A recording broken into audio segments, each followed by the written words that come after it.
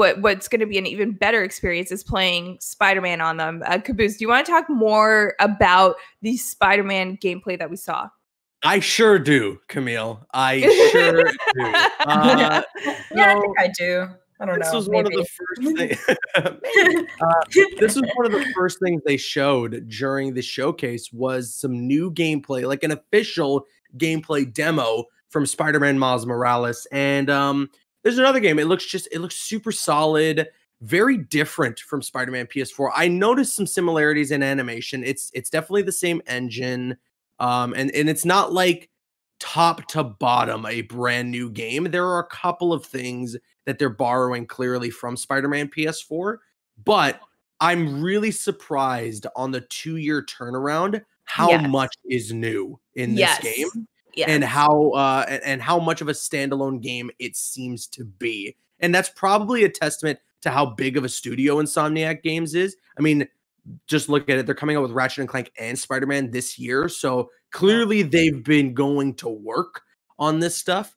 Uh, and it just looks super solid. Uh, the representation is amazing. What they're doing Oh. Can we talk about that music though? Like Oh, yes! the music was Oh my on gosh. point. And So it's good. Sony. They so they good. have to have the rights to so many big name New York rappers. I would be very very shocked if this soundtrack for this standalone title wasn't just um, absolutely amazing. Yeah. Yeah. well, they- and th- yeah, go ahead. you you have to nail that. I mean, especially when when that's like one of the best things about Into the Spider Verse. I, That's that, I, exactly what I was gonna to say. The Into the, the. Spider Verse was so good. Their sa- the soundtrack was so good. I was singing all those songs, like trying to rap them um, as What's best that of my bit? ability.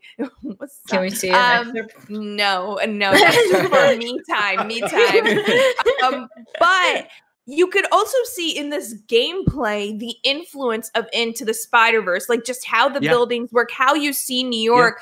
Although I, it would have been cool to have that full animation in here. I do love how they're able to kind of borrow the anime, well, be influenced by Into the Spider Verse um, in this game, and that was one of my Yeah. favorite things. Also, the reveal of Tinkerer um, being a I have my female. theories. I have my theories. Oh, oh, Oh. okay. Let's go into some theories right now. Let's. What's your theory? I want to hear this. that's Let's- that's talk. Yuri. That's got to be Yuri from Spider-Man PS4.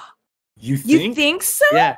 So in the comics, Yuri and and Alex, I know you have no clue what I'm talking about. I'm looking through the trailer. I'm like, who's this?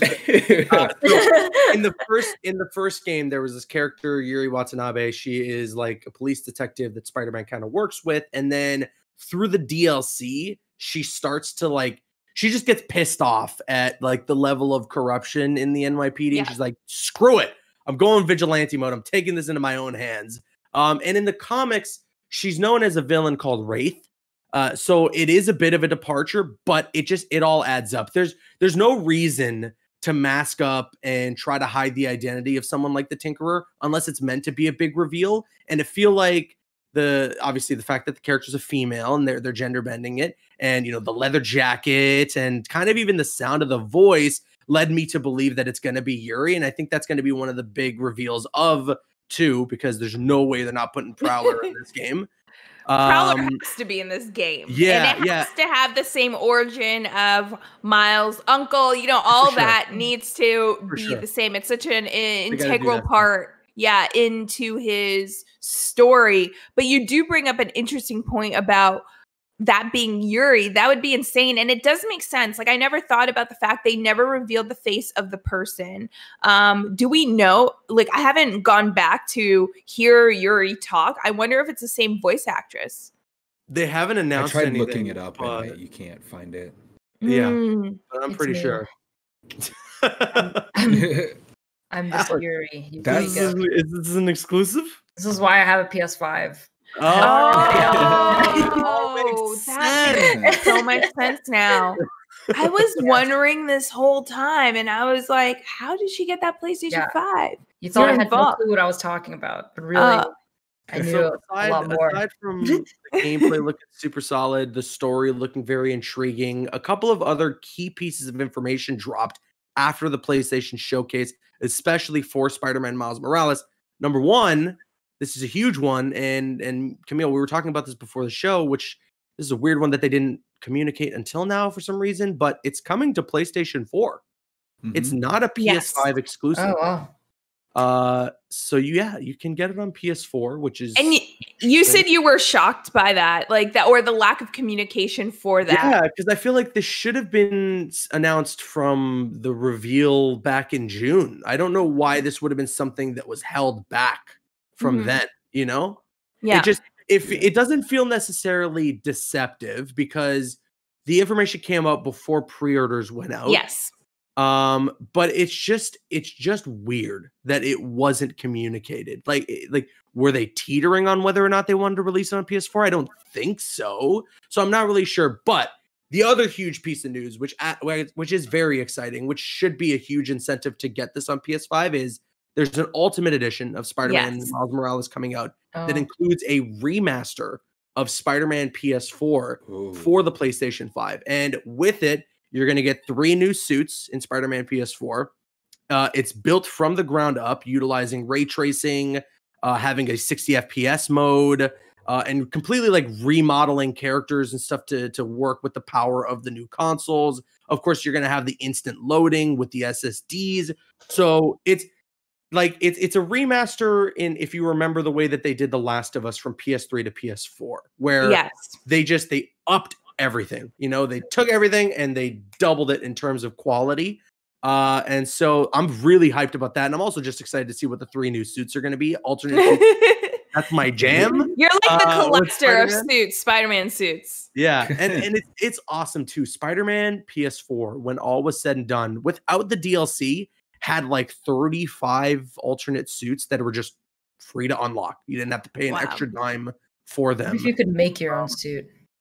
that would be pretty cool you'd need marvel's like approval on a lot of stuff though Oh.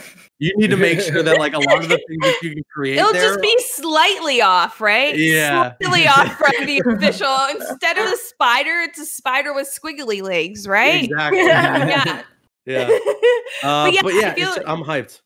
Yeah. I feel like there's so much um content with Miles Morales that we're seeing um come out from this game that it really does feel like it's a full Spider-Man game. And Yeah. it's crazy to think it is not. It is crazy to think that this is not No. Spider-Man PS4 2. It's an in-between game that they're releasing as Yeah. like I'm pretty sure a deal that they have with PlayStation being a launch title and all. Um, but I also thought about the, uh, and I was telling you earlier about the uh, news that this is coming out for PlayStation 4 as well.